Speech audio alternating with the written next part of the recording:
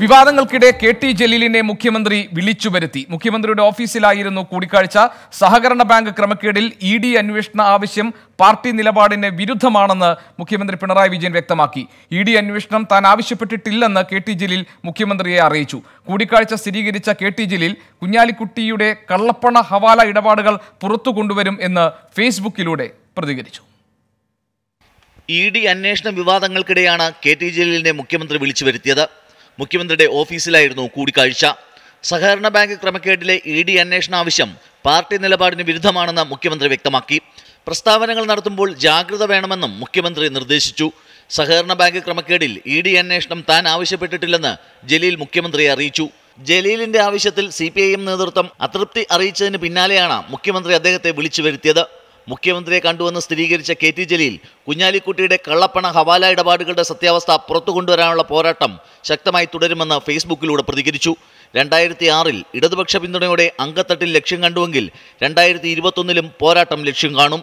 സാമ്പത്തിക തട്ടിപ്പുകൾക്കെതിരെ ശക്തമായ നടപടിയെടുക്കുന്ന സർക്കാരാണ് പിണറായി സർക്കാർ. ലീഗ് നേതാക്കൾക്ക് എന്തും ആഗ്രഹിക്കാം. എ ആർ നഗർ പൂരത്തിന്റെ വെടിക്കെട്ട് അധികം വൈകാതെ കാരത്തോട്ട് തുടങ്ങുമെന്നും തീയണയ്ക്കാൻ തിരൂരങ്ങാടിയിലെ ഫയർ എഞ്ചിൻ മതിയാകാതെ വരുമെന്നും ജലീൽ ഫേസ്ബുക്കിൽ പറഞ്ഞു. ഇതിനിടെ ചന്ദ്രിക ദിനപത്രത്തിലെ കള്ളപ്പണ ഇടപാടുമായി ബന്ധപ്പെട്ട് ഏഴ് സുപ്രധാന തെളിവുകളാണ് ഇ ഡിക്ക് കൈമാറുന്നതെന്ന് കെ ടി ജലീൽ ട്വന്റി ഫോറിനോട് പറഞ്ഞു. ലീഗ് സംസ്ഥാന കമ്മിറ്റി ഓഫീസിന് സ്ഥലം വാങ്ങിയതടക്കമുള്ള കാര്യങ്ങളിൽ അഴിമതികൾ കൈമാറും. Twenty four Thiruvananthapuram. K T ജലീലിന് C P I M പിന്തുണ കിട്ടുന്നില്ല എന്നത് മാധ്യമപ്രചാരണം മാത്രമാണെന്ന് സി പി എം സംസ്ഥാന acting secretary A Vijayaraghavan. Muslim ലീഗിന്റെ രാഷ്ട്രീയ നിലപാടുകളെ എന്നും എതിർക്കുന്ന പാർട്ടിയാണ് സി പി ഐ എം എന്നും വിജയരാഘവൻ വ്യക്തമാക്കി. സി പി എം എല്ലാ സന്ദർഭത്തിലും ലീഗിന്റെ രാഷ്ട്രീയ പരിമിതികളെ ശക്തമായി വിമർശിച്ചു പോന്നിട്ടുള്ള ഒരു പാർട്ടിയാണ്. അതൊക്കെ ലീഗിനോടുള്ള രാഷ്ട്രീയമായ നിലപാടുകൾ ഞങ്ങൾ കൃത്യമായിട്ട് തന്നെ എല്ലാ സന്ദർഭത്തിലും പ്രകടിപ്പിച്ചിട്ടുണ്ട്. ഇത് നിങ്ങൾ പ്രചരിപ്പിക്കുന്നതല്ലേ? അതിനിടെ കെ ടി ജലീലിനെ തള്ളി മുൻ സ്പീക്കർ പി ശ്രീരാമകൃഷ്ണൻ. സഹകരണ സ്ഥാപനങ്ങളിലെ അഴിമതി അന്വേഷിക്കാൻ ഇ ഡി ആവശ്യമില്ലെന്നും അഴിമതി അന്വേഷിക്കാൻ സർക്കാരിന് സംവിധാനമുണ്ടെന്നും പി ശ്രീരാമകൃഷ്ണൻ പറഞ്ഞു. കെ ടി ജലീൽ പലപ്പോഴും സ്വതന്ത്ര നിലപാട് സ്വീകരിക്കാറുള്ള സ്വതന്ത്രനാണ്. ഇക്കാര്യത്തിൽ സർക്കാർ നിലപാടാണ് മുഖ്യമന്ത്രി പറഞ്ഞതെന്നും ഇത് കെ ടി ജലീൽ അംഗീകരിച്ചിട്ടുണ്ടെന്നും പി ശ്രീരാമകൃഷ്ണൻ വ്യക്തമാക്കി. സംസ്ഥാനത്തെ ഏത് തരത്തിലുള്ള അഴിമതിയെ സഹകരണ സംസ്ഥാന ഗവൺമെന്റ് ഗവൺമെന്റിന്റേതായിട്ടൊരു സംവിധാനം. ആ സംവിധാനം തൃപ്തികരമായ നിലയിൽ മുന്നോട്ട് പോകുന്നുണ്ട്. ശക്തമായ നടപടി സ്വീകരിക്കുന്നു മുന്നോട്ട് പറഞ്ഞിട്ടുണ്ട് അതുകൊണ്ട് അതിൽ ഗവൺമെന്റിന്റെ ഭാഗം വളരെ ക്ലിയറാണ് ഒരു ഒരു ഒരു അഭ്യർത്ഥനയില്ല ഇതിൽ സ്വാഭാവികമായിട്ടും പലപ്പോഴും സ്വതന്ത്രമായ നിലപാട് സ്വീകരിക്കാൻ തയ്യാറാവുന്നു സ്വതന്ത്രമാണ്. പക്ഷേ അദ്ദേഹം ഗവൺമെന്റ് നിലപാട് മനസ്സിലാക്കി അംഗീകരിച്ചിട്ടുണ്ട്. അദ്ദേഹം അങ്ങനെ ആവശ്യപ്പെട്ടില്ലെന്ന് അദ്ദേഹം തന്നെ പറഞ്ഞു അതിലൊരു അഭ്യർത്ഥിയും ആശയങ്ങളും വിവാദ പ്രസംഗവുമായി പാലാ രൂപത ബിഷപ്പ് ബാർ ജോസഫ് കലറങ്ങാട്ട് സംസ്ഥാനത്ത് ലവ് ജിഹാദിനൊപ്പം നർക്കോട്ടിക് ജിഹാദും ഉണ്ടെന്നാണ് ആരോപണം. യുവാക്കളിൽ മയക്കുമരുന്ന് ഉപയോഗം വ്യാപകമാക്കാൻ പ്രത്യേകം ശ്രമങ്ങൾ നടക്കുന്നുണ്ടെന്നും കത്തോലിക്ക കുടുംബങ്ങൾ കരുതിയിരിക്കണമെന്നും ബിഷപ്പിന്റെ മുന്നറിയിപ്പ്. നിക്ഷിപ്ത താൽപര്യത്തോടെ രാഷ്ട്രീയ നേതൃത്വവും മാധ്യമങ്ങളും ഇതിനെ വില കുറച്ച് കാണുന്നതായും ബിഷപ്പ് ആരോപിക്കുന്നു. എട്ടുനോമ്പ് പെരുന്നാളിനോടനുബന്ധിച്ച് കോട്ടയം കുറവിലങ്ങാട് പള്ളിയിൽ നടത്തിയ പ്രസംഗത്തിലാണ് ബിഷപ്പ് മാർ ജോസഫ് കല്ലറങ്ങാട്ട് ഗുരുതരമായ ആരോപണങ്ങൾ ഉന്നയിച്ചത്. സഭയിലെ യുവാക്കളെ നശിപ്പിക്കാൻ ലവ് ജിഹാദിന് പുറമെ നാർക്കോട്ടിക് ജിഹാദിനെയും മാർഗമാക്കുന്നുവെന്ന് ബിഷപ്പ്. കത്തോലിക്ക കുടുംബങ്ങൾ യുവാക്കളുടെ കാര്യത്തിൽ പ്രത്യേക ശ്രദ്ധ ചെലുത്തണം. ഐസ്ക്രീം പാർലർ ഹോട്ടലുകൾ പാർട്ടികൾ എന്നിവ കേന്ദ്രീകരിച്ചാണ് പല നീക്കങ്ങളും. സുഹൃത്തുക്കളെ തിരഞ്ഞെടുക്കുന്നത് പോലും സർപ്പത്തിന്റെ ജാഗ്രതയോടെ വേണമെന്ന് ബിഷപ്പ് പറയുന്നു. കേരളത്തിലെ നമ്മുടെ യുവജനങ്ങൾക്കിടയിലും മറ്റൊരു കാലത്തും നേരിട്ടില്ലാത്ത തരത്തിലുള്ള പ്രശ്നങ്ങളും പ്രതിസന്ധികളും കൂടി വരികയാണ്. അവയിലേറ്റവും പ്രധാനപ്പെട്ടതും ശ്രദ്ധിക്കേണ്ടതുമായ രണ്ട് കാര്യങ്ങളാണ് ലവ് ജിഹാദും നാർക്കോട്ടിക് ജിഹാദും. സുഹൃത്തുക്കളെ തിരഞ്ഞെടുക്കുമ്പോൾ സർപ്പത്തെ പോലെ വിവേകമുള്ളവരായിരിക്കണം. മുസ്ലിമുകൾ അല്ലാത്തവർ ഇല്ലാതാകണമെന്നാണ് ജിഹാദി ഗ്രൂപ്പുകളുടെ ലക്ഷ്യമെന്ന പാലാരൂപത.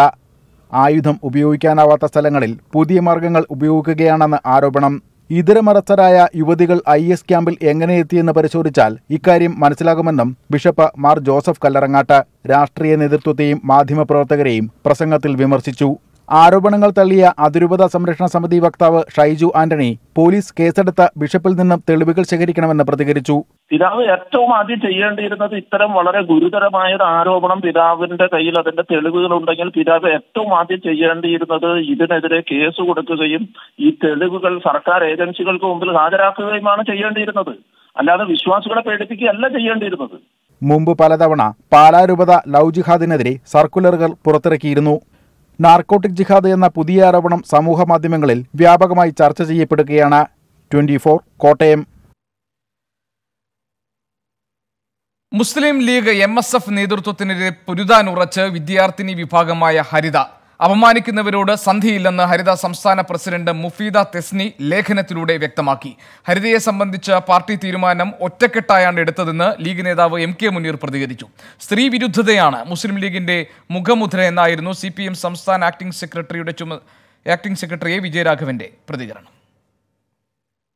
എം എസ് എഫ് നേതാക്കളുടെ അധിക്ഷേപങ്ങൾക്കെതിരെ പരാതി നൽകിയ ഹരിത സംസ്ഥാന കമ്മിറ്റി മുസ്ലിം ലീഗ് നേതൃത്വം പിരിച്ചുവിട്ടെങ്കിലും പോരാട്ടം തുടരുമെന്ന് വ്യക്തമാക്കുന്നതാണ് മുഫീദ തെസ്നിയുടെ ലേഖനം.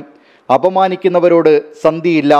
സ്ത്രീവിരുദ്ധ പരാമർശങ്ങളും വ്യക്തി അധിക്ഷേപങ്ങളും മുസ്ലിം ലീഗ് ഗൗരവമായി കാണുമെന്നായിരുന്നു പ്രതീക്ഷ. വനിതാ കമ്മീഷനിൽ പോയത് ഭരണഘടനാപരമായ അവകാശമാണ്. ആത്മാഭിമാനത്തിന് പോറലേറ്റപ്പോൾ പ്രതികരിച്ചതാണ് രാഷ്ട്രീയ പാർട്ടികൾക്ക് സ്ത്രീവിരുദ്ധ മനോഭാവം മാറണമെന്നും ലേഖനത്തിലുണ്ട്. ലേഖനത്തോട് ലീഗ് നേതാവ് എം കെ മുനീർ പ്രതികരിച്ചത് ഇങ്ങനെ പാർട്ടി വിലയിരുത്തിയത് അച്ചടക്ക ലംഘനമുണ്ട് എന്നാണ്. അതനുസരിച്ചാണ് ഈ തീരുമാനത്തിലേക്ക് വന്നിട്ടുള്ളത്. അതിനപ്പുറം പാർട്ടി സെക്രട്ടറി പറഞ്ഞതിനേക്കാൾ ഒന്നും കൂട്ടി പറയാനില്ല. ഹരിത സംസ്ഥാന കമ്മിറ്റിയെ പിരിച്ചുവിട്ടതിനു പിന്നാലെ ഡിവൈഎഫ്ഐ ലീഗിനെതിരെ രംഗത്തെത്തിയിരുന്നു. സി പി ഐ എം സംസ്ഥാന സെക്രട്ടറിയുടെ ചുമതലയുള്ള എ വിജയരാഘവനും ഇന്ന് ഈ വിഷയത്തിൽ പ്രതികരിച്ചു. വലിയ തോതിലുള്ള സ്ത്രീ വിരുദ്ധത ഈ പുതിയ കാലം സൃഷ്ടിച്ചിട്ടുണ്ട്. ആഗോളവൽക്കരണ മൂല്യങ്ങൾ എല്ലാതരം വർഗീയതയും. അത് ശക്തിപ്പെടുമ്പോൾ സ്ത്രീ വിരുദ്ധത സൃഷ്ടിക്കപ്പെടുക എന്നത് സ്വാഭാവികമാണ്. ഇപ്പൊ നമ്മൾ കണ്ടത് ആ സ്ത്രീ വിരുദ്ധത എത്രത്തോളം കടുത്തതാണ് എന്ന് ബോധ്യപ്പെടുന്ന അനുഭവമാണ്. മുസ്ലിം ലീഗ് പോലെയുള്ള ഒരു പാർട്ടിയിൽ നിന്ന് ഇതിൽ കൂടുതൽ മാന്യത നമുക്ക് പ്രതീക്ഷിക്കാൻ കഴിയില്ല. ഹരിതയ്ക്കെതിരായ നടപടിയിൽ എം എസ് എഫിലും എതിർപ്പുയർന്നിട്ടുണ്ട്. നടപടിയോടെ മുസ്ലിം ലീഗ് സ്ത്രീവിരുദ്ധ പാർട്ടി എന്ന ആരോപണം നേരിടേണ്ടി വരുന്ന സ്ഥിതിയായെന്നും സംസ്ഥാന പ്രസിഡന്റ് പി കെ നവാസിനെ മാറ്റണമെന്നും ഒരു വിഭാഗം നേതാക്കൾ പാർട്ടി നേതൃത്വത്തോട് കത്തിലൂടെ ആവശ്യപ്പെട്ടു. ട്വന്റി കോഴിക്കോട്. സംഘടനാ പ്രവർത്തനത്തിന് കോൺഗ്രസിൽ മാർഗരേഖ. നേതാക്കൾ വ്യക്തിപരമായി ഫ്ലക്സ് ബോർഡുകൾ വെക്കുന്നതും പാർട്ടി വേദികളിൽ തിക്കിത്തിരക്കുന്നതും പാടില്ല എന്നതാണ് നിർദ്ദേശം. ജനങ്ങളിലേക്ക് കൂടുതൽ ഇറങ്ങിച്ചെല്ലണമെന്നും ഡി സി സി അധ്യക്ഷന്മാരുടെ ശില്പശാലയിൽ അവതരിപ്പിച്ച മാർഗരേഖ നിർദ്ദേശിക്കുന്നു. ഇന്നലെ വരെ കണ്ട കോൺഗ്രസിനെ ആയിരിക്കില്ല ഇനി സംസ്ഥാനത്ത് കാണുക. ആറുമാസം കൊണ്ട് പാർട്ടിയിൽ അടിമുടി മാറ്റമെന്ന നേതൃത്വത്തിന്റെ അവകാശവാദം നടപ്പിലാക്കാൻ കെ പി സി സി നടപടികൾ ആരംഭിച്ചു. കോൺഗ്രസിനെ സെമി കേഡർ സംവിധാനത്തിലേക്ക് മാറ്റുന്നതിന്റെ ഭാഗമായി സമഗ്രമായ പ്രവർത്തന മാർഗരേഖയാണ് കോൺഗ്രസ് തയ്യാറാക്കുന്നത്. പാർട്ടിയിൽ താഴെത്തട്ട് മുതൽ അച്ചടക്ക സമിതികൾ രൂപീകരിക്കും. പാർട്ടിയിലെ തർക്കങ്ങൾ പരിഹരിക്കാൻ ജില്ലാ തലങ്ങളിൽ സമിതികൾ വരും. പാർട്ടിക്ക് മുഴുവൻ സമയ കേഡർമാരെ നിയമിക്കും. ഇവർക്ക് പ്രതിമാസം നിശ്ചിത തുക ഇൻസെന്റീവായി നൽകും. പൊതുപരിപാടികളിൽ ഉൾപ്പെടെ കോൺഗ്രസ് വേദികളിൽ നേതാക്കളും പ്രവർത്തകരും തിങ്ങിനിറയുന്ന സാഹചര്യത്തിനും വിലക്കേർപ്പെടുത്തിയിട്ടുണ്ട്. നേതാക്കൾ വ്യക്തിപരമായ ഫ്ലക്സ് ബോർഡുകൾ വെക്കാൻ പാടില്ലെന്നും മാർഗരേഖ നിർദ്ദേശിക്കുന്നു. പ്രാദേശികാടിസ്ഥാനത്തിൽ സാമൂഹ്യ രാഷ്ട്രീയ വിഷയങ്ങളിൽ സജീവമായി ഇടപെടണമെന്നും ജനങ്ങളിലേക്ക് പാർട്ടി പ്രവർത്തകർ കൂടുതൽ ഇറങ്ങിച്ചെല്ലണമെന്നും നിർദ്ദേശമുണ്ട്. ബൂത്ത് മണ്ഡലം കമ്മിറ്റികളുടെ പ്രവർത്തനം ഓരോ ആറു മാസവും വിലയിരുത്തി ഡി സി സി അധ്യക്ഷന്മാർ കെ പി സി സിക്ക് റിപ്പോർട്ട് നൽകണം. ഡി സി സി അധ്യക്ഷന്മാരുടെ ശില്പശാലയിൽ അവതരിപ്പിച്ച മാർഗരേഖയിന്മേൽ ചർച്ച തുടരുകയാണ്. വൈകുന്നേരത്തോടെ മാർഗരേഖയ്ക്ക് അന്തിമ അംഗീകാരം നൽകും. Twenty four Thiruvananthapuram. രമേശ് ചെന്നിത്തലയെ കോൺഗ്രസ് ദേശീയ നേതൃത്വത്തിന്റെ ഭാഗമാക്കാനുള്ള തീരുമാനത്തിൽ ഉറച്ച് സോണിയാഗാന്ധി കമൽനാഥ് അടക്കമുള്ള നേതാക്കളുടെ സമ്മർദ്ദമാ ഫലം കണ്ടത്. നിലവിൽ ദേശീയ നേതൃത്വത്തിന്റെ ഭാഗമായുള്ള മുല്ലപ്പള്ളി രാമചന്ദ്രനെയും ജനറൽ സെക്രട്ടറിയായി പരിഗണിക്കുന്നുണ്ട്. കേരളത്തിലെ ഡി സി സി അധ്യക്ഷ നിയമനവുമായി ബന്ധപ്പെട്ട് രമേശ് ചെന്നിത്തല നടത്തിയ പരസ്യ പ്രസ്താവനകൾ കോൺഗ്രസ് ദേശീയ നേതൃത്വത്തെ പ്രകോപിപ്പിച്ചിരുന്നു. രാഹുൽ ഗാന്ധി ഇക്കാര്യത്തിൽ കടുത്ത അതൃപ്തിയും കോൺഗ്രസ് അധ്യക്ഷയോട് വ്യക്തമാക്കി. ഈ അവസരം ഉപയോഗിച്ച് ദേശീയ നേതൃത്വത്തിലേക്ക് രമേശ് ചെന്നിത്തലയെ പരിഗണിക്കുന്നത് തടയാൻ ശക്തമായ ചരടുവലികളാണ് പിന്നീട് ഡൽഹിയിൽ നടന്നത്. രമേശ് ജി ട്വന്റി ത്രീ നേതാക്കളുമായി ചർച്ചകൾ നടത്തിയതായി വരെ കോൺഗ്രസ് അധ്യക്ഷയ്ക്ക് മുന്നിൽ സന്ദേശമെത്തി. സ്വാതന്ത്ര്യത്തിന്റെ എഴുപത്തിയഞ്ചാം വാർഷികം ആഘോഷിക്കാനുള്ള സമിതിയിലേക്ക് നിശ്ചയിച്ചിരുന്ന രമേശ് ചെന്നിത്തലയെ ഒഴിവാക്കുന്നതിലേക്ക് പോലും കാര്യങ്ങൾ വളർന്നു. പക്ഷേ ഇക്കാര്യത്തിൽ കമൽനാഥ് അടക്കമുള്ള മുതിർന്ന നേതാക്കളുടെ ഇടപെടലാണ് ഇപ്പോൾ നിർണായകമായത്. പ്രതിപക്ഷ നേതാവിനെ നിശ്ചയിച്ച സമയത്ത് സോണിയാഗാന്ധി ചെന്നിത്തലയുമായി നടത്തിയ ചർച്ചയിൽ നൽകിയ ഉറപ്പുകൾ പാലിക്കപ്പെടേണ്ടത് അനിവാര്യമാണെന്നായിരുന്നു കമൽനാഥിന്റെ നിലപാട്. രമേശിന്റെ സംഘടനാ പാഠവും ഭാഷാപരിചയവും പാർട്ടിക്ക് മുതൽക്കൂട്ടാകുമെന്നും അദ്ദേഹം വാദിച്ചു. ഇതേ തുടർന്നാണ് പുനഃസംഘടനാ ചർച്ചകളിൽ രമേശിന്റെ പേര് ഒഴിവാക്കേണ്ടെന്ന സോണിയാഗാന്ധിയുടെ നിലപാട്. പ്രശാന്ത് കിഷോറിന് പാർട്ടിയിൽ നൽകേണ്ട സ്ഥാനം സംബന്ധിച്ച് ഇപ്പോഴും തർക്കം തുടരുകയാണ്. ഇത് പരിഹരിച്ചാലുടൻ ദേശീയ നേതൃത്വത്തിന്റെ പുനഃസംഘടനാ പട്ടിക പ്രസിദ്ധീകരിക്കും. കോൺഗ്രസ് സംഘടനാ തെരഞ്ഞെടുപ്പ് സമിതി അധ്യക്ഷൻ എന്ന നിലയിൽ നിലവിൽ ദേശീയ നേതൃത്വത്തിന്റെ ഭാഗമാണ് മുല്ലപ്പള്ളി രാമചന്ദ്രൻ. സ്വാതന്ത്ര്യത്തിന്റെ എഴുപത്തിയഞ്ചാം വാർഷികം ആഘോഷിക്കാനുള്ള കോൺഗ്രസ് ദേശീയ നേതൃസമിതിയിലും മുല്ലപ്പള്ളി ഭാഗമാണ്. ഈ സാഹചര്യത്തിൽ മുല്ലപ്പള്ളിയും ജനറൽ സെക്രട്ടറി പദത്തിൽ നിയോഗിക്കപ്പെടും. R Radhakrishnan twenty four Delhi. നിപ്പയിൽ കേരളത്തിന് കൂടുതൽ ആശ്വാസം. സമ്പർക്ക പട്ടികയിലുള്ള പതിനഞ്ച് പേരുടെ ഫലം കൂടി നെഗറ്റീവായി. ഇതോടെ ആകെ നെഗറ്റീവായവരുടെ എണ്ണം അറുപത്തിയൊന്നായി. വൈറസിന്റെ ഉറവിടം കണ്ടെത്തുന്നതിനായി മൃഗസംരക്ഷണ വകുപ്പ് ശേഖരിച്ച സാമ്പിളുകൾ ഭോപ്പാലിലെ ലാബിലേക്ക് അയച്ചു. വവ്വാലുകളെ പിടികൂടി പരിശോധിക്കാൻ പൂനെയിൽ നിന്നുള്ള സംഘം ഇന്ന് എത്തിയേക്കും. കോഴിക്കോട് മെഡിക്കൽ കോളേജിലെ ലാബിൽ നടത്തിയ പതിനഞ്ചു പേരുടെ പരിശോധനാ ഫലമാണ് രാവിലെ പുറത്തുവന്നത്. സമ്പർക്ക പട്ടികയിലുള്ള കൂടുതൽ പേരുടെ സാമ്പിളുകൾ ഇന്നെടുക്കുന്നുണ്ട്. നിലവിൽ മെഡിക്കൽ കോളേജിൽ അറുപത്തിനാല് പേരാണ് നിരീക്ഷണത്തിലുള്ളത്. അതേസമയം വൈറസിന്റെ ഉറവിടം കണ്ടെത്തുന്നതിനുള്ള പരിശോധനയ്ക്കായി എത്തിയ മൃഗസംരക്ഷണ വകുപ്പ് ഉദ്യോഗസ്ഥർ ചാത്തമംഗലത്ത് നിന്ന് ശേഖരിച്ച സാമ്പിളുകൾ ഇന്ന് ഭോപ്പാലിലേക്ക് അയക്കും.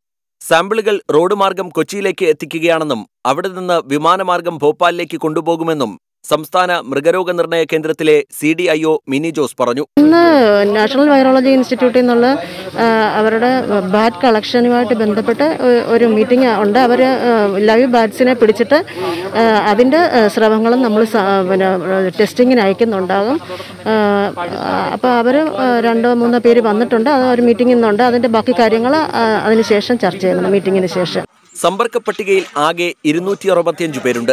ഇതിൽ ആശുപത്രിയിൽ കഴിയുന്ന അറുപത്തിനാല് പേരുടെ നില തൃപ്തികരമാണ്. പരിശോധനാഫലം നെഗറ്റീവായവരെ മൂന്ന് ദിവസത്തെ നിരീക്ഷണത്തിന് ശേഷം വീട്ടിൽ ക്വാറന്റൈൻ ചെയ്യും. പ്രതിരോധ പ്രവർത്തനങ്ങളുടെ ഭാഗമായി ഇതുവരെ നാലായിരത്തി തൊള്ളായിരത്തി തൊണ്ണൂറ്റിയഞ്ച് വീടുകളിൽ സർവേ നടത്തി വിവരങ്ങൾ ശേഖരിച്ചു.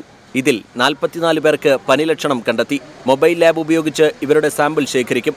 ട്വന്റി കോഴിക്കോട്.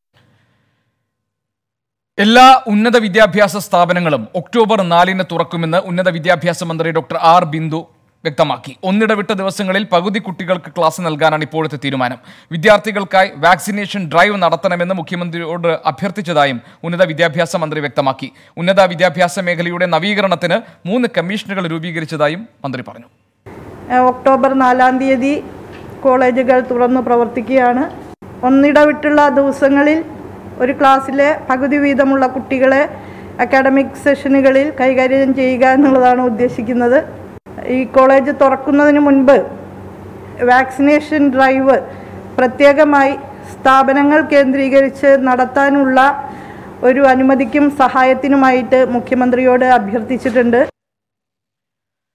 രാജ്യത്തെ കോവിഡ് പ്രതിദിന കേസുകൾ വീണ്ടും നാൽപ്പതിനായിരത്തിന് മുകളിലായി. ഇരുപത്തിനാല് മണിക്കൂറിനിടെ നാൽപ്പത്തി മൂവായിരത്തി ഇരുന്നൂറ്റി അറുപത്തിമൂന്ന് പേർക്ക് രോഗബാധ സ്ഥിരീകരിച്ചു. മുന്നൂറ്റി മുപ്പത്തിയെട്ട് മരണമാണ് റിപ്പോർട്ട് ചെയ്തിരിക്കുന്നത്. നാൽപ്പതിനായിരത്തി അഞ്ഞൂറ്റി അറുപത്തിയേഴ് പേർ രോഗമുക്തരായി. ഇതോടെ രോഗമുക്തി നിരക്ക് തൊണ്ണൂറ്റിയേഴ് പോയിന്റ് നാല് എട്ട് ശതമാനമായി. നിലവിൽ നാല് ലക്ഷത്തിൽ താഴെ പേരാണ് ചികിത്സയിലുള്ളത്. നിയമസഭാ കയ്യാങ്കളി കേസിൽ രമേശ് ചെന്നിത്തല നൽകിയ ഹർജി തള്ളി. കേസിൽ കക്ഷി ചേർക്കണമെന്നാവശ്യപ്പെട്ടായിരുന്നു ഹർജി. പ്രോസിക്യൂട്ടറെ നിയമിക്കണമെന്ന ഹർജിയും തള്ളിയിട്ടുണ്ട്. തിരുവനന്തപുരം സി എം കോടതിയാണ് ഹർജികൾ തള്ളിയത്. പ്രതികളുടെ വിടുതൽ ഹർജിയിൽ ഈ മാസം ഇരുപത്തിമൂന്നിന് വാദം കേൾക്കും. ഷഫീദ് റാവുത്തർ ഞങ്ങളുടെ പ്രതിനിധിയുണ്ട്. വിശദാംശങ്ങളുമായി തിരുവനന്തപുരത്ത് നിന്നും ഷഫീദ് രമേശ് ചെന്നിത്തലയുടെ ആവശ്യം എന്തുകൊണ്ടാണ് കോടതി നിരാകരിച്ചത്? എന്താണ് കോടതി ഇതിന് പറഞ്ഞ കാരണങ്ങൾ? എന്തൊക്കെയാണ് വിശദാംശങ്ങൾ? ആ ഈ നിയമസഭാ കയ്യാങ്കളി കേസുമായി ബന്ധപ്പെട്ട രണ്ട് തടസ്സ ഹർജികളായിരുന്നു സി ജി എം കോടതിയുടെ മുൻപിൽ എത്തിച്ച് മുൻപിലെത്തിയത്. അതിലൊന്ന് അഭിഭാഷക പരിഷത്ത് നൽകിയ ഹർജിയും മറ്റൊന്ന് രമേശ് ചെന്നിത്തല നൽകിയ ഹർജിയുമായിരുന്നു. ഈ കേസിൽ കക്ഷി ചേരണമെന്നായിരുന്നു രമേശ് ചെന്നിത്തലയുടെ ഹർജിയിൽ ആവശ്യപ്പെട്ടിരുന്നത്. മാത്രമല്ല ഈ സ്പെഷ്യൽ പ്രോസിക്യൂട്ടറെ നിയമിക്കണമെന്നുള്ള ആവശ്യവും ഉയർന്നിരുന്നു. എന്നാൽ ഇത് രണ്ടും സാധ്യമല്ല അതല്ലെങ്കിൽ ഇത് രണ്ടും പറ്റില്ല എന്നുള്ളൊരു നിലപാടാണ് ഇപ്പോൾ സി ജി എം കോടതി എടുത്തത്. ഈ തടസ്സ ഹർജി നൽകാൻ അധികാരമില്ല എന്നുള്ളതായിരുന്നു പ്രോസിക്യൂഷന്റെ നിലപാട്. എന്നാൽ കയ്യാങ്കളി കേസിൽ സുപ്രീം കോടതിയിൽ വരെ നിയമപോരാട്ടം നടത്തിയിട്ടുണ്ടെന്നായിരുന്നു ചെന്നിത്തലയുടെ ഹർജിയിലെ വാദം. സ്വാഭാവികമായും ഈ വാദമാണ് ഇപ്പോൾ തിരുവനന്തപുരം സി ജെ എം കോടതി തള്ളിയിരിക്കുന്നത്. അതേസമയം തന്നെ കേസിൽ പ്രതികളുടെ വിടുതൽ ഹർജിയിൽ ഈ മാസം ഇരുപത്തിമൂന്നിന് വീണ്ടും വാദം കേൾക്കും എന്നുള്ള വിവരവും കോടതിയിൽ നിന്ന് ഇപ്പോൾ പുറത്തു വന്നിരിക്കുന്നു. നേരത്തെ തന്നെ ഇക്കാര്യത്തിൽ നിലവിൽ ഇനിയും കക്ഷി ചേരേണ്ട സാഹചര്യമുണ്ടോ എന്നുള്ള കാര്യം കോടതി ചൂണ്ടിക്കാണിച്ചിരുന്നു. ഇതിന് പിന്നാലെയാണ് ഇന്ന് ഇക്കാര്യത്തിൽ വിധി പറയുന്ന ഒരു സാഹചര്യത്തിൽ കോടതി ഈ രണ്ട് ഹർജികളും തള്ളിയിട്ടുള്ളത് ഗോപികൃഷ്ണൻ. ഷഫീദ് റാവുത്തർ ഞങ്ങളുടെ പ്രതിനിധിയാണ് വിശദാംശങ്ങൾ നൽകിയത് തിരുവനന്തപുരത്ത് നിന്നും. മറ്റു വാർത്തയിലേക്ക്. K S R T C കെട്ടിടങ്ങളിൽ ബെവ്കോ ഔട്ട്ലെറ്റ് തുടങ്ങുന്ന കാര്യം സർക്കാർ ആലോചിച്ചിട്ടില്ലെന്ന് എക്സൈസ് മന്ത്രി എം ഗോവിന്ദൻ. അടിസ്ഥാനരഹിതമായ പ്രചാരണങ്ങളാണ് ഇപ്പോൾ നടക്കുന്നത്. അത്തരമൊരു തീരുമാനം സർക്കാർ എടുത്തിട്ടില്ലെന്ന് എക്സൈസ് മന്ത്രി വ്യക്തമാക്കി. K S R T C ഡിപ്പോയിൽ ഞങ്ങളെന്തോ മദ്യ വിൽപ്പന തുടങ്ങാൻ പോവുകയാണ് എന്ന പ്രചാരവേല അടിസ്ഥാനപരമായി തെറ്റാണ്. അങ്ങനെ ഒരു ആലോചന നടന്നിട്ടില്ല.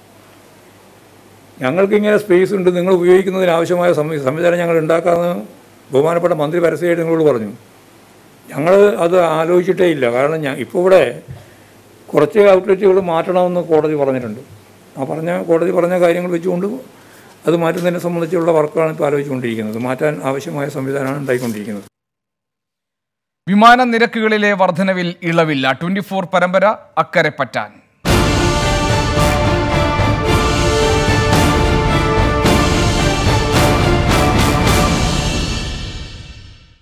കുവൈറ്റ് യാത്രയ്ക്കുള്ള ഭീമമായ ടിക്കറ്റ് നിരക്കിൽ ആശങ്ക ഒഴിയുന്നില്ല. വരും ദിവസങ്ങളിൽ നിരക്ക് കുറയുമെന്ന ഉറപ്പിന് ശേഷവും സ്ഥിതിയിൽ ഒരു മാറ്റവുമില്ല. സെപ്റ്റംബർ ഇരുപത്തിയൊന്ന് വരെ വിവിധ വിമാന കമ്പനികളുടെ ടിക്കറ്റ് നിരക്ക് ഒരു ലക്ഷത്തിനും ഒന്നര ലക്ഷത്തിനും ഇടയിൽ തന്നെയാണ്. ടിക്കറ്റ് നിരക്ക് കുറയുമെന്നും ആശങ്ക വേണ്ട എന്നുമായിരുന്നു ഇന്നലെ കേന്ദ്ര വിദേശകാര്യ സഹമന്ത്രി അറിയിച്ചിരുന്നത്. ട്വന്റി ഫോർ പരമ്പര അക്കരെ പറ്റാൻ തുടരുന്നു.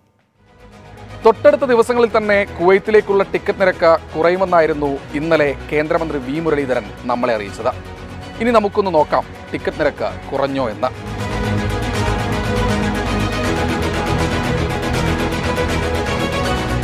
ഇനി സെപ്റ്റംബർ ഒൻപത് ഇന്നത്തെ കുവൈറ്റിലേക്കുള്ള ജസീറ എയർലൈൻസിന്റെ ടിക്കറ്റ് നിരക്ക് കാണുക. ഒരു ലക്ഷത്തി നാൽപ്പത്തി മൂവായിരത്തി അറുന്നൂറ്റി മുപ്പത്തി മൂന്ന് രൂപ.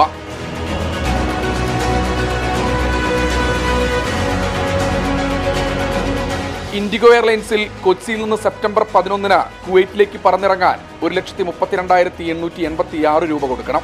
ഇതെല്ലാം കണക്ഷൻ ഫ്ലൈറ്റുകളുമാണ്. നേരിട്ട് പോകുന്ന കുവൈറ്റ് എയർലൈൻസിന്റെ നിരക്ക് നോക്കിയാൽ അത് ഒരു ലക്ഷത്തി നാൽപ്പത്തി ഏഴായിരത്തി തൊള്ളായിരത്തി മുപ്പത്തി ഒന്ന് രൂപയാണ്. കോഴിക്കോട്ട് നിന്നും തിരുവനന്തപുരത്തു നിന്നും പോകുന്ന വിമാനങ്ങൾക്കും ടിക്കറ്റ് നിരക്കിൽ ഇതിൽ നിന്ന് ആയിരത്തിന്റെയോ രണ്ടായിരത്തിന്റെയോ മാത്രം മാറ്റമേ ഉള്ളൂ ഇങ്ങനെ ലക്ഷങ്ങൾ വിമാന ടിക്കറ്റിന് നൽകി കുവൈത്തിലെത്തുന്ന ശരാശരി മലയാളി സാധാരണക്കാരൻ. ഈ കടം വീട്ടാൻ ഇനിയും ഒരുപാട് നാൾ അധ്വാനിക്കേണ്ടി വരും.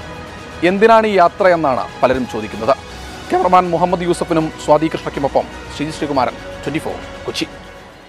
Twenty four വാർത്തയിൽ മറ്റു വാർത്തകൾ പരിശോധിക്കാം ഇനി. കുട്ടനാട്ടിൽ വഴിയരികിൽ പാർക്ക് ചെയ്തിരുന്ന വാഹനങ്ങൾ കത്തിച്ച കേസിൽ മുപ്പത്തിരണ്ട് വയസ്സുള്ള മണ്ണഞ്ചേരി സ്വദേശിയായ യുവാവിനെ കസ്റ്റഡിയിലെടുത്തു. പ്രതിക്ക് മാനസിക അസ്വാസ്ഥ്യമുണ്ടെന്ന് പോലീസ് പറഞ്ഞു. ഇന്ന് പുലർച്ചെയാണ് കൈനഗരിയിലെ വിവിധ ഭാഗങ്ങളിലായി ആറ് വാഹനങ്ങൾ ഇയാൾ കത്തിച്ചത്. കുട്ടനാട് കൈനകരിയിലെ വിവിധ സ്ഥലങ്ങളിലായി വഴിയരികിൽ പാർക്ക് ചെയ്തിരുന്ന ആറ് വാഹനങ്ങൾക്കാണ് തീയിട്ടത്. പുലർച്ചെ മൂന്നരയോടെയാണ് സംഭവം. ആലപ്പുഴയിൽ നിന്ന് മോഷ്ടിച്ച ബൈക്കിലാണ് പ്രതി കൈനകരിയിലെത്തിയത് അഞ്ചു ബൈക്കിനും ഒരു കാറിനും ഇയാൾ തീയിട്ടു. കയ്യിൽ കരുതിയ പെട്രോൾ ഉപയോഗിച്ചാണ് വാഹനങ്ങൾക്ക് തീയിട്ടത്. അന്നേരം സാറിന് ഇവിടെ തന്നെ വണ്ടി വെക്കാറുള്ളത്. ഞാൻ ഇവിടെ രാ- രാവിലെ വിളിച്ച് സാറ് വിളിച്ചിട്ട് പറഞ്ഞ് കണക്ക് നിന്റെ വണ്ടി കത്തിയിട്ടുണ്ട്. പെട്ടെന്ന് വരണമെന്ന് പറഞ്ഞു. അങ്ങനെയാണ് ഞാൻ അറിയുന്നത് ഈ സംഭവം. രണ്ട് ബൈക്കുകൾ പൂർണമായും കത്തിനശിച്ചു മറ്റു വാഹനങ്ങൾ ഭാഗികമായും കത്തി. ആ ഒരു മൂന്ന് നാല് മണി പരുവാന്നാണ് നമുക്ക് അറിയാൻ കഴിയുന്നത് ആളുകൾ പറഞ്ഞ്. മാനസികാസ്വാസ്ഥ്യമുള്ള ആലപ്പുഴ മണ്ണഞ്ചേരി സ്വദേശിയായ പ്രതിയെ നോർത്ത് പോലീസ് കസ്റ്റഡിയിലെടുത്തു. പ്രതി മുൻപും സമാന കുറ്റകൃത്യങ്ങൾ ചെയ്തിട്ടുണ്ടെന്ന് പോലീസ് പറയുന്നു. നോർത്ത് സ്റ്റേഷനിൽ ഉൾപ്പെടെ ഇയാൾക്കെതിരെ കേസുണ്ട്. വിശദമായ പരിശോധനകൾക്ക് ശേഷം തുടർ നടപടികൾ സ്വീകരിക്കുമെന്ന് പോലീസ് അറിയിച്ചു. ട്വന്റി ആലപ്പുഴ തിരുവനന്തപുരം സ്വർണക്കടത്ത് കേസിൽ മാപ്പുസാക്ഷികൾ ഉണ്ടായേക്കില്ലെന്ന് കസ്റ്റംസ്. പ്രധാന പ്രതികളിൽ ആരെയും മാപ്പുസാക്ഷിയാക്കേണ്ട എന്ന് കസ്റ്റംസിന് നിയമോപദേശം ലഭിച്ചു. നിലവിൽ പിടിയിലായവരെ പ്രതികളാക്കി കുറ്റപത്രം സമർപ്പിക്കാനാണ് തീരുമാനം. അതേസമയം യു എ ഇ നയതന്ത്ര പ്രതിനിധികളുടെ പേര് ആദ്യ കുറ്റപത്രത്തിൽ ഉൾപ്പെടുത്തുന്ന കാര്യത്തിൽ ഇനിയും തീരുമാനമായിട്ടില്ല. സ്വർണക്കടത്തു കേസിൽ എൻ ഐ എ മാതൃകയിൽ ചിലരെ മാപ്പുസാക്ഷികളാക്കാൻ കസ്റ്റംസ് നേരത്തെ നിയമോപദേശം തേടിയിരുന്നു. എന്നാൽ വിദേശത്തുള്ള മുഖ്യപ്രതികളിലേക്ക് അന്വേഷണം എത്താത്ത സാഹചര്യത്തിൽ ഈ നീക്കം ഉപേക്ഷിക്കാനാണ് കസ്റ്റംസിന് ലഭിച്ച നിയമോപദേശം. നിലവിൽ പിടിയിലായവരെ പ്രതികളാക്കി കുറ്റപത്രം സമർപ്പിക്കുമെന്നും മൊഴിയെടുത്തവരിൽ ഫിനാൻസിയർമാരായ ചിലരെ ഒഴിവാക്കിയേക്കുമെന്നും കസ്റ്റംസ് വ്യക്തമാക്കി. നേരത്തെ സ്വപ്നയടക്കമുള്ള പ്രധാനപ്പെട്ട ചിലരെ മാപ്പുസാക്ഷികളാക്കാൻ പരിഗണിച്ചിരുന്നു. അതേസമയം കേസിൽ യു എ ഇ നയതന്ത്ര പ്രതിനിധികളുടെ പേര് ആദ്യ കുറ്റപത്രത്തിൽ ഉൾപ്പെടുത്തുന്ന കാര്യത്തിൽ തീരുമാനമായില്ല. ഇവരുടെ മൊഴി കൂടി ലഭിച്ച ശേഷം അനുബന്ധ കുറ്റപത്രം സമർപ്പിച്ചാൽ മതിയോ എന്ന് കസ്റ്റംസ് നിയമോപദേശം തേടും. S Sreekanth twenty Kochi. Thiruvananthapuram സ്വർണക്കടത്ത് വിഷയം പരിഗണിക്കുന്നത് സുപ്രീം കോടതി ഈ മാസം പതിനാറിലേക്ക് മാറ്റി. ഇ ഡി ഉദ്യോഗസ്ഥർക്കെതിരെ അന്വേഷണം വേണമോ എന്നതിൽ വിചാരണ കോടതിക്ക് തീരുമാനമെടുക്കാമെന്ന ഹൈക്കോടതി ഉത്തരവിനെതിരെ ഇ ഡി സമർപ്പിച്ച ഹർജിയാണ് മാറ്റിയത്. മുഖ്യമന്ത്രിയുടെ മുൻ പ്രിൻസിപ്പൽ സെക്രട്ടറി എം ശിവശങ്കറിന്റെ ജാമ്യം റദ്ദാക്കണമെന്ന ഇ ഡിയുടെ ഹർജിക്കൊപ്പം പരിഗണിക്കാമെന്ന് ജസ്റ്റിസ് എ എം ഖാൻവിൽക്കർ അധ്യക്ഷനായ മൂന്നംഗ ബഞ്ച് വ്യക്തമാക്കി. സിംഗിൾ ബഞ്ച് വിധിക്കെതിരെ ഡിവിഷൻ ബഞ്ചിനെ സമീപിക്കാതെ സുപ്രീം കോടതി നേരിട്ട് സമീപിച്ചത് സംബന്ധിച്ച് വാദം കേൾക്കും.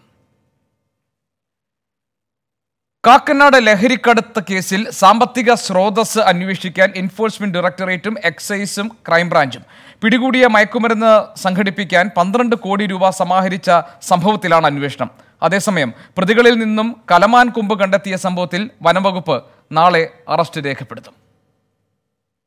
കാക്കനാട് ലഹരിക്കടത്തു കേസിൽ വലിയ തുക നിക്ഷേപമായി വന്നിട്ടുണ്ടാകാമെന്നാണ് ഇ ഡി വിലയിരുത്തൽ.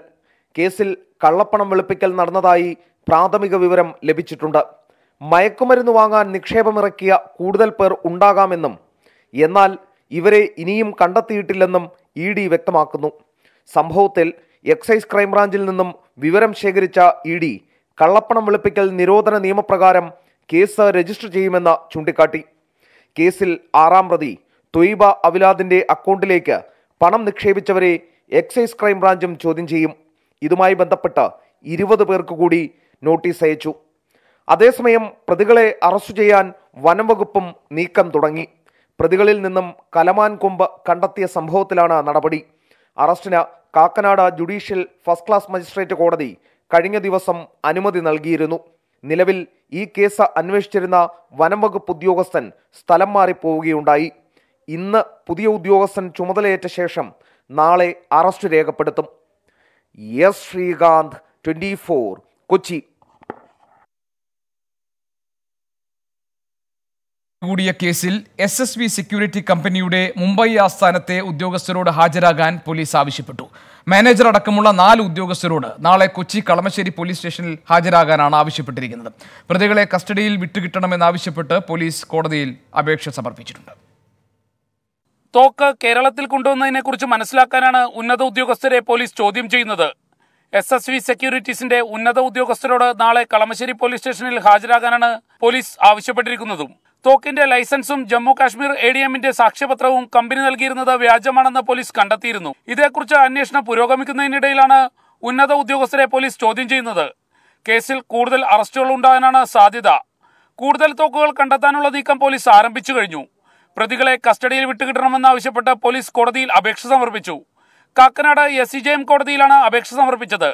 ആറ് ദിവസത്തേക്ക് പ്രതികളെ പോലീസ് കസ്റ്റഡിയിൽ ആവശ്യപ്പെട്ടിട്ടുണ്ട്. സഹിൻ ആന്റണി ട്വന്റി കൊച്ചി.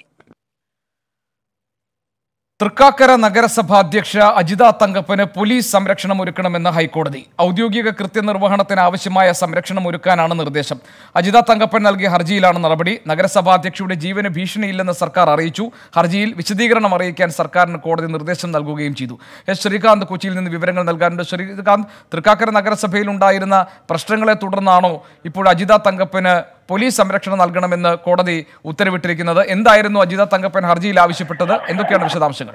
കഴിഞ്ഞ ദിവസങ്ങളിൽ തൃക്കാക്കര നഗരസഭയിലുണ്ടായ സംഘർഷങ്ങളുടെ പശ്ചാത്തലത്തിലാണ് അജിത തങ്കപ്പൻ ഹൈക്കോടതിയെ സമീപിച്ചത്. തന്റെ ജീവന് ഭീഷണിയുണ്ട് എന്നുള്ളതായിരുന്നു അവർ കോടതിയിൽ ചൂണ്ടിക്കാണിച്ചതും. ഇന്ന് കേസ് പരിഗണിച്ച കോടതി സംസ്ഥാന സർക്കാരിനോട് കൃത്യമായ വിശദീകരണം ഫയൽ ചെയ്യാൻ ആവശ്യപ്പെട്ടിട്ടുണ്ട് നൽകാൻ ആവശ്യപ്പെട്ടിട്ടുണ്ട്.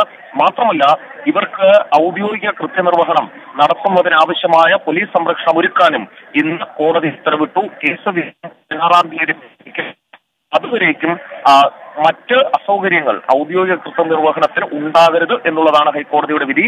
ശേഷം കേസിൽ വിശദമായ ശ്രീകാന്താണ് വിവരങ്ങൾ നൽകിയത് കൊച്ചിയിൽ നിന്ന്.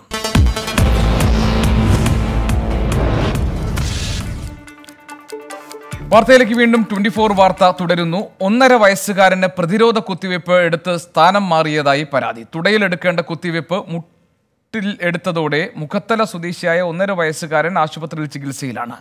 തൃക്കോവിലോട്ടം പ്രാഥമികാരോഗ്യ കേന്ദ്രത്തിലാണ് ഗുരുതരമായ ഈ ചികിത്സാ പിഴവ് ഉണ്ടായത്.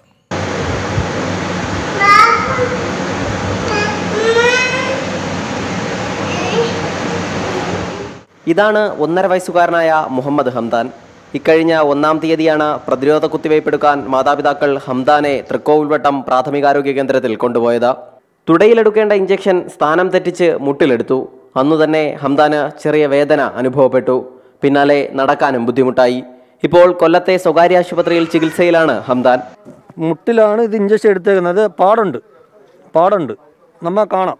എന്നാൽ ഞങ്ങൾ ഇവിടെ ഹോസ്പിറ്റലിൽ കൊണ്ട് ചെന്നപ്പോൾ അവർ തന്നെ നമ്മുടെ അടുത്ത് ചോദിച്ചു ഇത് ഫസ്റ്റ് ഇഞ്ചക്ഷൻ എടുക്കുമ്പോഴത്തേക്ക് കുഞ്ഞ് കരയും.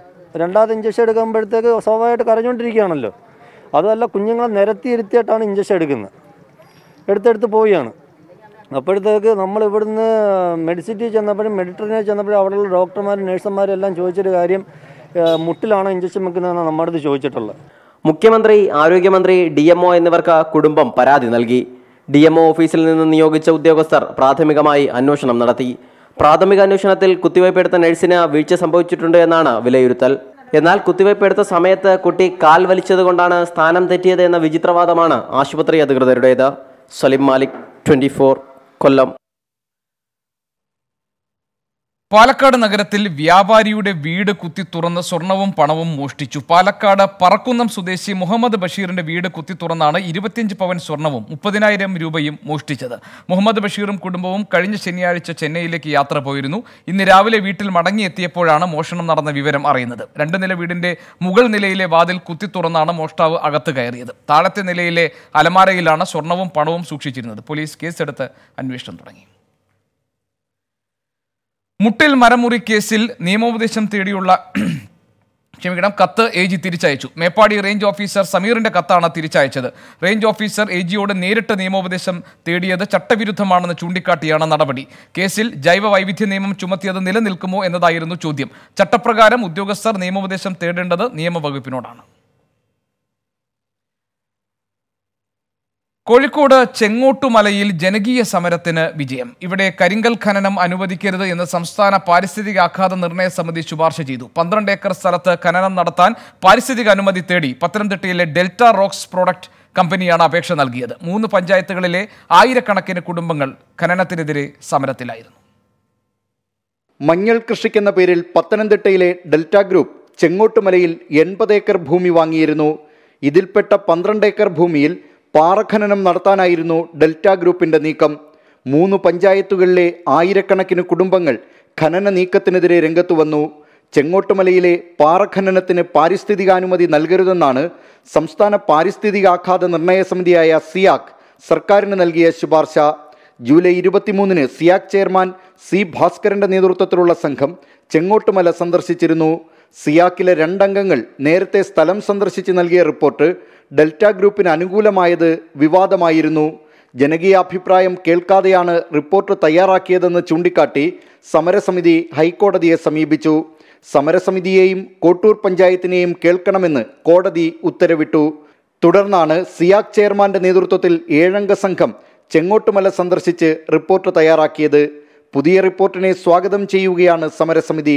കോട്ടൂർ ഗ്രാമപഞ്ചായത്തിൽ ചെങ്ങോട് മല ഖനനത്തിന് അനുകൂലമായി സംസ്ഥാന പാരിസ്ഥിതിക ആഘാത നിർണയ വിദഗ്ധ സമിതിയുടെ നേരത്തെയുള്ള റിപ്പോർട്ട് തള്ളിക്കൊണ്ട് പുതുതായി ചുമ ചുമതലപ്പെടുത്തിയിട്ടുള്ള ഏഴംഗങ്ങളടങ്ങിയ സമിതി ആ ശുപാർശ തള്ളുക തള്ളിയിരിക്കുകയാണ്.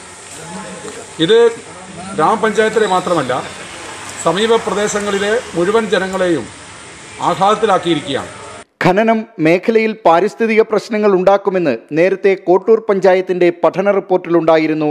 ചെരിവുള്ള കുന്നിനും ജലസ്രോതസ്സുകൾക്കും ഭീഷണിയാണ് ഖനനം. വൈവിധ്യമുള്ള ഭൂപ്രകൃതി നശിക്കാൻ ഇടയാക്കുമെന്നും റിപ്പോർട്ടിൽ ചൂണ്ടിക്കാട്ടിയിരുന്നു. ട്വന്റി കോഴിക്കോട്. രാജസ്ഥാൻ ജലോറിയിലെ ദേശീയപാതയിൽ വ്യോമസേന വിമാനങ്ങളുടെ അടിയന്തര ലാൻഡിംഗ് സംവിധാനം ഉദ്ഘാടനം ചെയ്ത് കേന്ദ്രമന്ത്രിമാരായ രാജ്നാഥ് സിംഗും നിതിൻ ഗഡ്കരിയും. കേന്ദ്രമന്ത്രിമാരെയും വ്യോമസേന തലവൻ ആർ കെ എസ് ബദൌരിയെയും വഹിച്ചുകൊണ്ടുള്ള C one thirty super Hercules transport വിമാനമാണ് ദേശീയപാത N H nine nine twenty five എയിലേക്ക് പറന്നിറങ്ങിയത്. ഇന്ത്യ പാക് അതിർത്തിക്ക് സമീപമാണ് ഈ ലാൻഡിംഗ് ഫീൽഡ്. ദേശീയപാത അതോറിറ്റിയും ഇന്ത്യൻ എയർഫോഴ്സും സംയുക്തമായാണ് എമർജൻസി ലാൻഡിംഗ് ഫീൽഡ് തയ്യാറാക്കിയത്. കർഷകരുടെ മിനി സെക്രട്ടേറിയറ്റ് ഉപരോധത്തിന്റെ മൂന്നാം നാളിലും നിലപാട് കടുപ്പിച്ചു കർഷക സംഘടനകൾ. സിൻകു ടിക്രി മാതൃകയിൽ കർണാലിൽ സ്ഥിരം സമരവേദി ഉയർത്തുമെന്ന് കർഷകർ പറഞ്ഞു. സമരം നടക്കുന്ന പശ്ചാത്തലത്തിൽ കർണാലിൽ ഇന്റർനെറ്റ് എസ് സേവനങ്ങൾ വിച്ഛേദിച്ച് ഹരിയാന സർക്കാർ. കർഷക സംഘടനകളുടെ കർണാലിലെ മിനി സെക്രട്ടേറിയറ്റ് ഉപരോധത്തിന് ഇന്ന് മൂന്നാം ദിവസം. മുൻ എസ് ഡി എം ആയുഷ് സിൻഹയ്ക്കെതിരെ നടപടിയെടുക്കാതെ സമരം അവസാനിപ്പിക്കില്ലെന്ന ഉറച്ച നിലപാടിലാണ് കർഷകർ. ഉടൻ നടപടി ഉണ്ടായില്ലെങ്കിൽ ഹരിയാനയിലെ മുഴുവൻ കളക്ട്രേറ്റുകളും ഉപരോധിക്കാനാണ് കർഷക സംഘടനകളുടെ തീരുമാനം. ഇന്ന് കർഷക സംഘടനകൾ യോഗം ചേർന്ന് തുടർ സമര പരിപാടികൾക്ക് രൂപം നൽകും. ഇന്നലെ ഹരിയാന സർക്കാരുമായി കർഷക നേതാക്കൾ ചർച്ച നടത്തിയെങ്കിലും ചർച്ച പരാജയപ്പെട്ടു. മിനി സെക്രട്ടേറിയറ്റ് ഉപരോധം ശക്തമാകുന്ന സാഹചര്യത്തിൽ പ്രദേശത്തെ ഇന്റർനെറ്റ് സേവനവും എസ് സേവനവും ഹരിയാന സർക്കാർ വിച്ഛേദിച്ചു. ഇന്ന് രാത്രി പന്ത്രണ്ട് മണിവരെയാണ് നിരോധനം. Twenty Delhi. General secretary D രാജയ്ക്ക് C P I സംസ്ഥാന എക്സിക്യൂട്ടീവിൽ വിമർശനം. ആനി രാജയെ ന്യായീകരിച്ചതിനെയാണ് ആണ് വിമർശനം. ആനി രാജയുടെ പ്രസ്താവന തെറ്റാണെന്ന് ദേശീയ എക്സിക്യൂട്ടീവ് വിലയിരുത്തിയിരുന്നു. എന്നിട്ടും ആനി രാജയെ ന്യായീകരിച്ചതിനാണ് ഡി രാജയ്ക്ക് വിമർശനം നേരിടേണ്ടി വന്നത്. തനേഷ് തമ്പി വിവരങ്ങൾ നൽകാനുണ്ട്. തനേഷ് ആനി രാജയുടെ പ്രസ്താവനയ്ക്കെതിരെ നിലപാട് സ്വീകരിച്ചിട്ടുണ്ടായിരുന്നു സി എക്സിക്യൂട്ടീവ്. പിന്നെയും ഡി രാജ ആ നിലപാടിനൊപ്പം നിന്നതുകൊണ്ടാണോ അദ്ദേഹം വിമർശിക്കപ്പെട്ടത്? എന്താണ് അതിന്റെ പൂർണ വിവരങ്ങൾ? ഗോപികൃഷ്ണൻ കേരള പോലീസിനെതിരെ ഗുരുതര ആരോപണമാണ് സി പി ഐ നേതാവ് ആനി രാജ ഉന്നയിച്ചിരുന്നത്.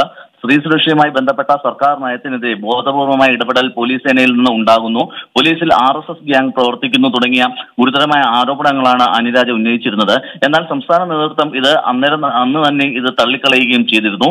സംസ്ഥാന നേതൃത്വത്തിന് ഇത്തരം ഒരു അഭിപ്രായമില്ലെന്ന് സംസ്ഥാന സെക്രട്ടറി കാനൻ രാജേന്ദ്രൻ തന്നെ വ്യക്തമാക്കുകയും ഈ നിലപാട് ദേശീയ നേതൃത്വത്തെ അറിയിക്കുകയും ചെയ്തിരുന്നു. തുടർന്ന് ഈ ആനി രാജയുടെ പ്രസ്താവന തെറ്റാണെന്ന് ദേശീയ എക്സിക്യൂട്ടീവ് വിലയിരുത്തി. ഇതിനുശേഷമാണ് ആനി രാജ വീണ്ടും ഈ ആരോപണത്തിൽ ഉറച്ചു നിൽക്കുന്നതും അതോടൊപ്പം തന്നെ പിന്തുണയുമായി ജനറൽ സെക്രട്ടറി രാജ രംഗത്തെത്തിയതും. ഇതിനെയാണ് ഇപ്പോൾ സംസ്ഥാന എക്സിക്യൂട്ടീവിൽ അംഗങ്ങൾ വിമർശിച്ചത്. കാരണം സംസ്ഥാനത്ത് നടക്കുന്ന ഒരു കാര്യത്തിൽ വിശദമായ ആലോചനയില്ലാതെ അല്ലെങ്കിൽ കാര്യങ്ങൾ പൂർണമായും ഗ്രഹിക്കാതെ ഇത്തരത്തിലുള്ള അഭിപ്രായ പ്രകടനം നടത്തുന്നത് ശരിയല്ല എന്നുള്ള ഒരു നിലപാടാണ് ഇന്നത്തെ എക്സിക്യൂട്ടീവിൽ അംഗങ്ങൾ സ്വീകരിച്ചത്. ആനി രാജയുടെ പ്രസ്താവന തെറ്റാണെന്ന് ദേശീയ എക്സിക്യൂട്ടീവ് വിലയിരുത്തിയിട്ടും ആനി രാജയെ ന്യായീകരിക്കുന്നത് ജനറൽ സെക്രട്ടറി അല്ലെങ്കിൽ ന്യായീകരിക്കുന്ന നടപടി ശരിയായില്ല എന്നും അംഗങ്ങൾ വിമർശനം ഉന്നയിച്ചു. ഏതായാലും നേരത്തെ തന്നെ സംസ്ഥാന നേതൃത്വം ഇക്കാര്യത്തിൽ നിലപാട് വ്യക്തമാക്കിയിരുന്നതാണ്.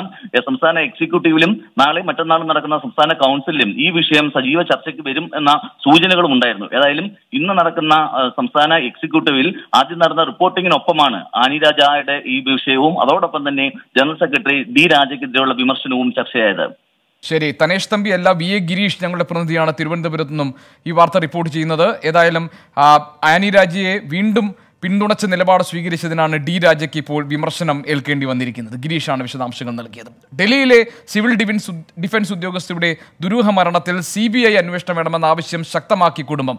ആസൂത്രിതമായ കുറ്റകൃത്യമാണ് നടന്നതെന്ന് സംശയിക്കുന്നതായി കുടുംബം ട്വന്റി ഫോറിനോട് പറഞ്ഞു. അതേസമയം സിവിൽ ഡിഫൻസ് ഉദ്യോഗസ്ഥയുടെ ഭർത്താവെന്ന് അവകാശപ്പെടുന്ന പ്രതിയെ ചോദ്യം ചെയ്യുന്നത് ഇപ്പോഴും തുടരുകയാണ്.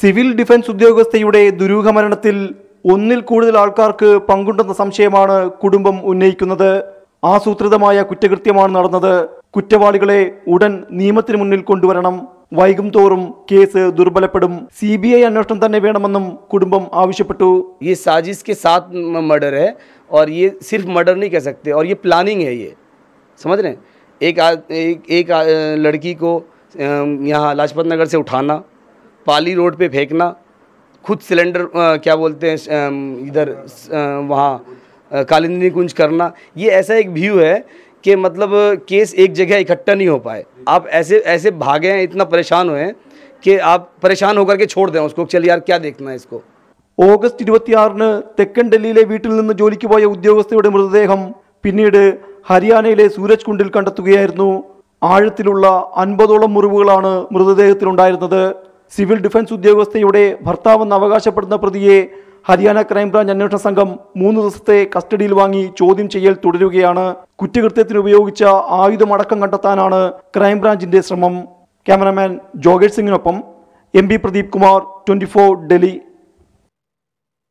രണ്ടു വർഷം കഴിഞ്ഞിട്ടും മൂന്നാർ ഗുണ്ടുമലയിൽ എട്ടു വയസ്സുകാരി കയറിൽ കഴുത്തിൽ കയർ കഴുത്തിൽ കുരുങ്ങി മരിച്ച കേസിൽ തുമ്പ് കണ്ടെത്താനാകാതെ പോലീസ്. പെൺകുട്ടിയുടേത് കൊലപാതകമാണെന്ന് ആരോപണം ഉയർന്നിരുന്നു. അതേസമയം കേസ് അന്വേഷണം ശക്തമായി നടക്കുന്നുണ്ടെന്നാണ് പോലീസിന്റെ വിശദീകരണം. രണ്ടായിരത്തി പത്തൊൻപത് സെപ്റ്റംബർ ഒൻപതിനാണ് കണ്ണൻദേവൻ കമ്പനി എസ്റ്റേറ്റ് അപ്പർ ഡിവിഷനിലെ ലയത്തിനുള്ളിൽ പെൺകുട്ടിയെ മരിച്ച നിലയിൽ കണ്ടെത്തിയത്. എട്ടു വയസ്സായിരുന്നു പ്രായം. ഊഞ്ഞാലാടുന്നതിനിടെ കയർ കഴുത്തിൽ കുരുങ്ങി മരണം സംഭവിച്ചു എന്നായിരുന്നു പ്രാഥമിക നിഗമനം. അസ്വാഭാവിക മരണത്തിന് പോലീസ് കേസെടുത്തു. എന്നാൽ പോസ്റ്റ്മോർട്ടം റിപ്പോർട്ടിൽ പെൺകുട്ടി പലതവണ ലൈംഗിക പീഡനത്തിന് ഇരയായിരുന്നതായി കണ്ടെത്തി. അന്നത്തെ മൂന്നാർ ഡിവൈഎസ്പിയുടെ നേതൃത്വത്തിൽ പ്രത്യേക അന്വേഷണ സംഘത്തെ നിയോഗിച്ചെങ്കിലും കേസിൽ പുരോഗതിയൊന്നും ഉണ്ടായില്ല. തുടർന്ന് നടത്തിയ പ്രതിഷേധങ്ങൾക്കും പരാതികൾക്കും ഒടുവിലാണ് ഡിവൈഎസ്പി എ ജി ലാലിന്റെ നേതൃത്വത്തിൽ പുതിയ അന്വേഷണ സംഘത്തെ നിയോഗിച്ചത്. പെൺകുട്ടി കഴുത്തിൽ കയർ കുരുങ്ങി മരിക്കാനിടയായ സാഹചര്യം ഡമ്മി പരീക്ഷണത്തിലൂടെ പുനരാവിഷ്കരിക്കാൻ ഒരുങ്ങുകയാണ് അന്വേഷണ സംഘം.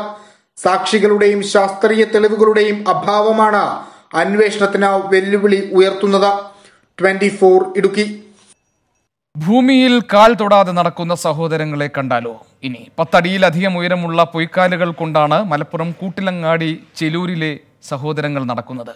പൊയ്ക്കാൽ നടത്തം കൊണ്ട് ചില നേട്ടങ്ങളും ഉണ്ടെന്നാണ് ഇവർക്ക് പറയാനുള്ളത്.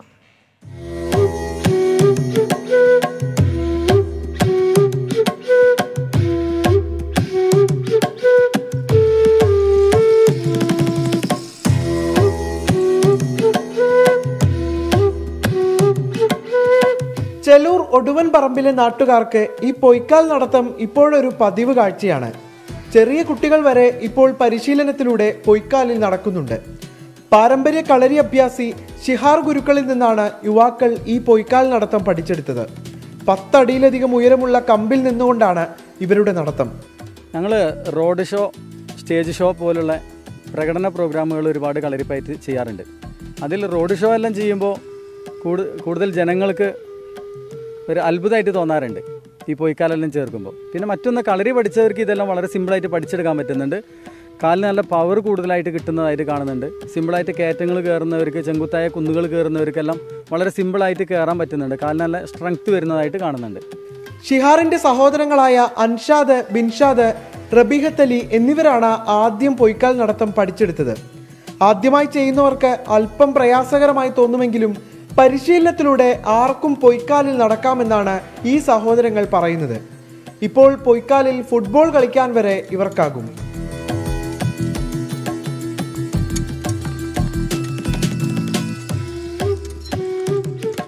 ഇത് ചെറുപ്പം മുതലേ നമ്മൾ ജ്യേഷ്ഠൻ ഷിഹാർ ഗുരുക്കളുടെ ഒരു നിർദ്ദേശപ്രകാരം ഗുരുക്കൾ പ്രത്യേകിച്ച് ചുവടുകൾ പിടിച്ചു തരും നമ്മളിങ്ങനെ നടന്ന് ശീലിച്ചു. നാട്ടുകാർ എന്നും ഇത് കണ്ടുകൊണ്ടിരിക്കുകയാണ് അവർക്ക് പ്രത്യേകിച്ച് അത്ഭുതമായി തോന്നില്ല കാരണം ഞങ്ങളുടെ പ്രാക്ടീസ് മുതൽ തന്നെ നാട്ടുകാർ കണ്ടുകൊണ്ടിരിക്കുകയാണ് കളരിക്കൊപ്പമാണ് ഷിഹാർ താല്പര്യമുള്ള കുട്ടികളെ പൊയ്ക്കാൽ നടത്തവും പഠിപ്പിക്കുന്നത്. നേരത്തെ സംസ്ഥാന കലോത്സവ വേദിയിലേക്കും മറ്റു പരിപാടികളിലുമെല്ലാം ഈ പൊയ്ക്കാൽ ബ്രോസ് പ്രകടനങ്ങളുമായി ആളുകളെ വിസ്മയിപ്പിക്കാൻ എത്തിയിട്ടുണ്ട്.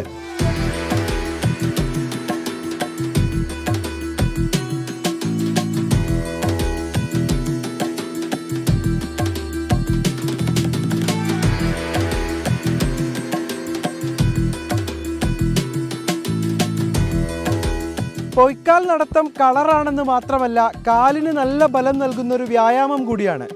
കോവിഡ് കാലത്ത് ചെറിയ അകലം അത് പെർഫെക്റ്റ് അല്ലേ മച്ചാനെ?